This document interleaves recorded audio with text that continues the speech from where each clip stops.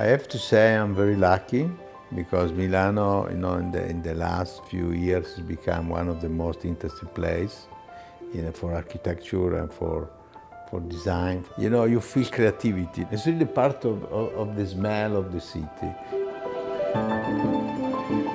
This room is my is like my home because I pass many hours. I really like this atmosphere. It's a part of my story.